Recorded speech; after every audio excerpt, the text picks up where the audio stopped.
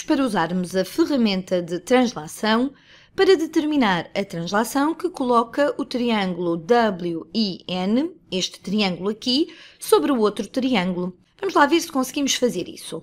Vou usar a ferramenta de translação e diz aqui translação segundo o vetor e o vetor indica-nos qual é a translação que queremos observar na coordenada x e qual é a translação que queremos observar na coordenada y. Vamos ver.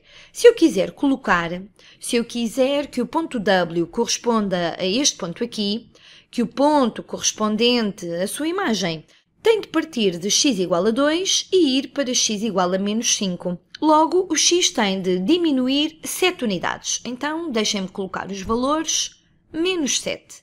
E agora vamos ver em relação à coordenada y. Ah, já viram que ao escrever menos 7 movemos o triângulo 7 unidades para a esquerda? E agora, no eixo dos y, preciso de o mover para baixo. Vamos ver quanto. 1, 2, 3, 4. Menos 4 unidades. Então, na coordenada y, vou movê-lo para baixo 4 unidades. E vamos ver o que é que acontece menos 4.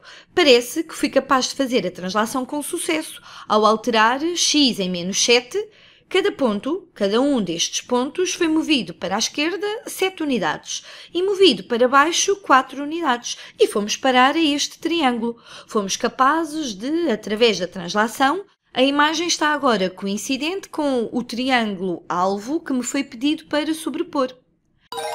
E está certo.